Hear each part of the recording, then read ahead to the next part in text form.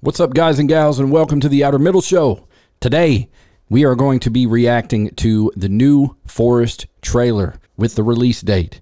I woke up this morning to about a billion messages from every platform, and I'm extremely excited to see this new trailer.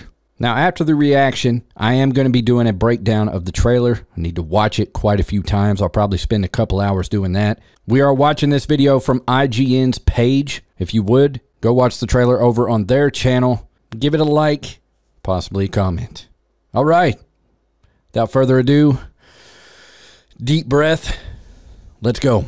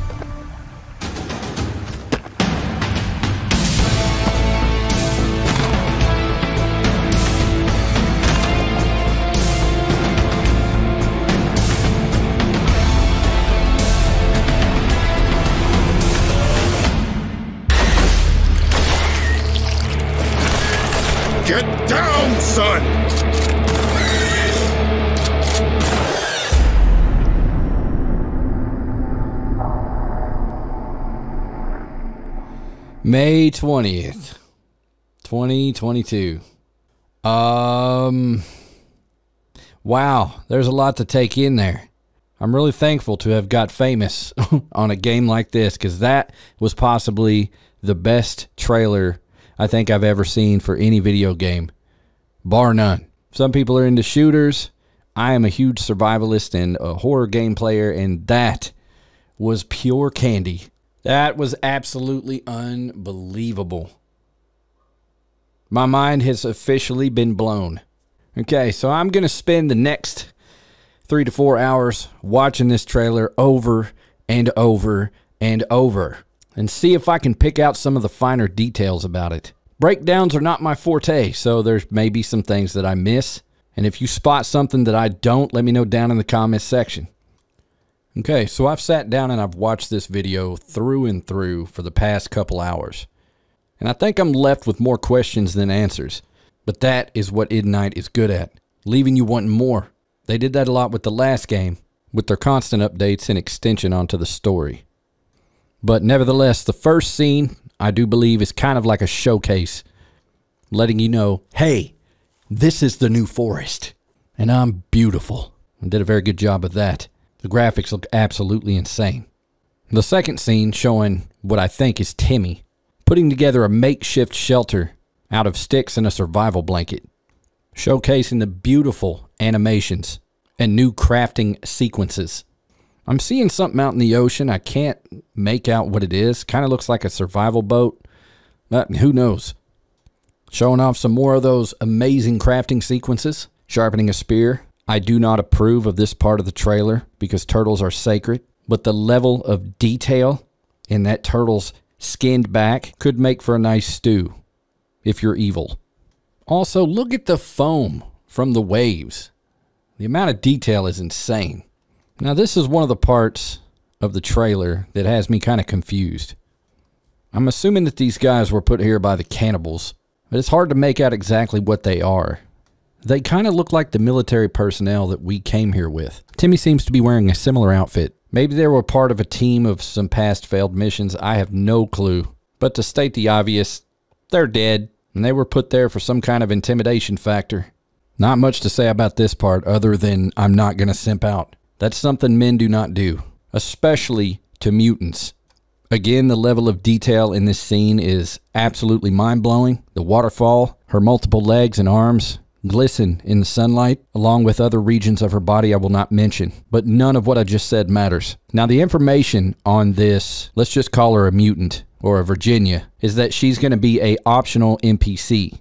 You're going to have the option to take her along with you, or I do believe you can just leave her behind, let her do her thing. Who knows? She's off in the forest dancing, trying to make you simp. But you know the old saying you can't make a mutant a housewife.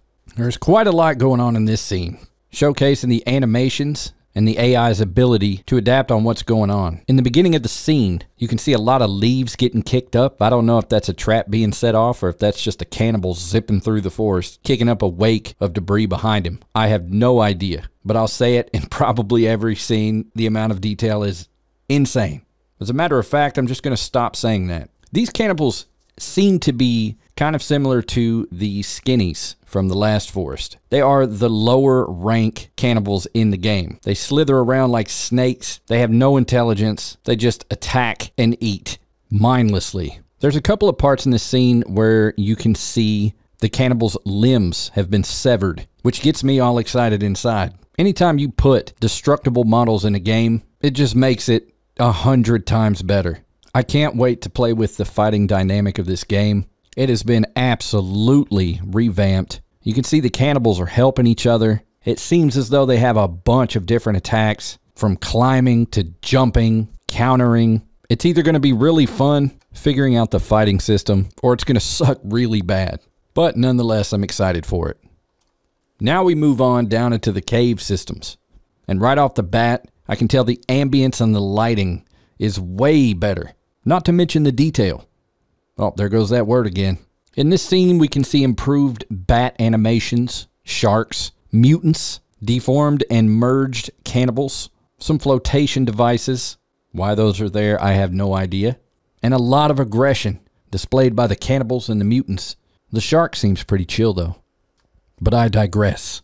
Moving on to the next scene, we have a quick little shot of the new and improved inventory. And might I say it looks stacked. To see another shot of the inventory, you can check out the pictures that were released by Endnight on the internet. Just look up Sons of the Forest inventory. Now, this shot looks like the right side of the inventory, but there's still a lot of stuff missing that this new trailer reveals. As you can see on the pictures they released, you can't see the MREs, the containers of instant noodles, or the oysters, or what appears to be oysters. Now, I can't go on without giving credit where it's due. There's a guy named Farket who did a complete breakdown of this inventory. He's a good friend of mine, and he makes some of the most in depth videos on trailer breakdowns and the previous forest that you'll ever see. I'll put his link down in the description so you guys can check it out. The next scene is showcasing some of the weapons the shotgun and the taser, a severed head, a head on a stick, and a beautiful sunset in the background. One of the parts in this scene, it shows a cannibal on the ground holding what kind of looks like a hook of some sort. I can't quite make out what it is, but his arm is gone. Pretty cruel that you're going to tase a man with no arm. These look like higher ranking cannibals. We always see one with a golden mask, which I'm assuming is the head honcho of the group. I'm wondering if they're going to be competing tribes I have no idea, but there does seem to be some sort of hierarchy within these groups. Maybe if the head honcho of the group is killed, then the other ones get scared and run away. Only time will tell. And addressing the head on the stick, uh, there's definitely going to be some sort of an intimidation factor, aka a repellent, something that scares the cannibals away. Kind of what I thought for the longest time the effigies were for in the original forest. But apparently they weren't that effective, and honestly, I don't think they worked at all. There's a whole mess of stuff going on in this scene. At first, you can see Timmy cutting the top of the fence. I'm assuming to keep cannibals from climbing over, because in the next scene, you can clearly see him just hopping right over the fence. Next, we see your Virginia wife protecting you from the mean cannibals with a shotgun and a handgun. A woman with multiple arms and hands I could say a lot about, but I'm going to keep my mouth shut. Next, what we have is what appears to be two cannibals interlocking at the legs. The one on the bottom is walking on its hands, and the one up top is going to be throwing haymakers. Also in this scene, it appears that they're showing off a little bit of the fire dynamics. In Timmy's hand is a Molotov cocktail, and as you can see in the bushes, a fire seems to be spreading. The next scene is showing Timmy holding some type of brochure for a underground bunker or bunkers for sale. I've seen these before where people will deck out old missile silos, turn them into survival shelters, and you can buy out one of the floors. There's like a hundred floors. You have access to a whole lot of stuff. Hydro gardens, running water, electricity. I've seen some where you can control drones from the inside to get a scope as to what's going on on the surface. They're crazy, but they are expensive. And it seems like also with the digging aspect of this game, we're going to uncover this bunker, find a bunch of crap in it. I feel like it's going to hold a lot of the keys to the story. Also in the scene, we have a private plane. Uh, your guess is as good as mine. Maybe this was somebody flying in to uh, move into their bunker or check it out and ended up getting destroyed by some cannibals. Who knows? Let's see if we can read the back of this. Luxury facilities, gourmet kitchen, large bedrooms, storage, private courtyard, concept images only, actual suits may vary, exclusive amenities, personal chef with custom menus, fully catered media rooms, state of the art pool facilities, ventilation, and business center. I told you, these things are crazy. And they do exist in real life. The last scene starts out with Timmy having trouble fighting off a big, massive wall of flesh. I do believe it's the same wall of flesh that you find in the laboratory in the first forest, only this time it's not behind a pane of glass and it is uh, active. And as Timmy struggles to fight this thing off, Eric LeBlanc, the father, comes in to save Timmy. Now, it does kind of seem like these are the bunkers. I'm not 100% sure. But as the camera pans right, you can see what appears to be an exit or an entrance into the facility. I have no idea. But it kind of looks like they're trying to keep this thing from escaping the building. I don't know. Like I said, I have more questions than answers. I got a feeling they're going to drop one more trailer on this game prior to release. And that about wraps it up. That's all I could gather from this trailer. I'm pretty sure later on I will see things and there will be other people that pick up on things that I didn't. And again, if you saw something that I didn't, let me know down in the comment section. I have played the original Forest through and through, and it's what made me famous. If you're new to the channel, go check out my series. I've made dozens of them, including some how-tos, and I would be honored if you joined the MADD Army. May 20th can't come fast enough. I am super stoked. Hope to see you there on the release. I love you guys, and I'll see you in the next one.